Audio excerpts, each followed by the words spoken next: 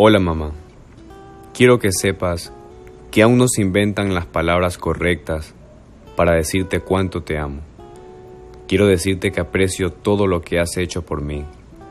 La distancia entre nosotros no lo ha hecho fácil y muchas veces se pone muy difícil. Aún recuerdo la última vez que nos vimos. Fue la tarde de un domingo, cuando ya tenía que regresar. Te extraño, mamá, y ha sido difícil. Recuerdo muchos momentos. Recuerdo que has tenido toda la responsabilidad de convertir a un joven en un hombre del cual sentirte orgullosa. Me has dado tanto. No sabía que has sacrificado hasta que empezó mi travesía en esta noble institución.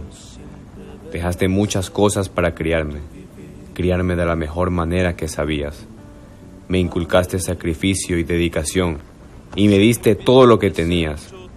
Sé lo duro que es para ti tenerme lejos, lo difícil que fue para ti verme partir de casa.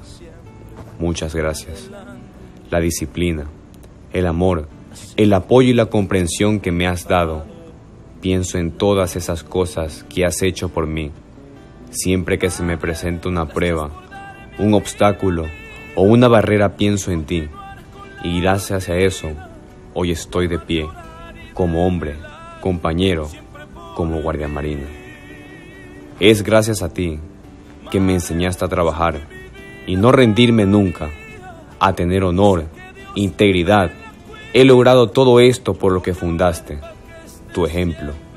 Siempre decías que sin sacrificio no hay victoria y que el esfuerzo traería nuevas oportunidades. Bueno, tenías razón. Lo he hecho bien en la escuela naval y tengo más trabajo por delante. Así que va a seguir siendo difícil vernos y es por eso que quiero que este Día de la Madre sea realmente especial y fuera de lo común.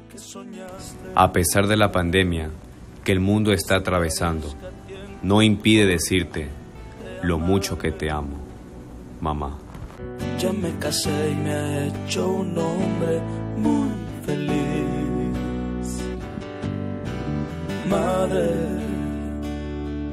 Pido a la vida me dé tiempo para gozarte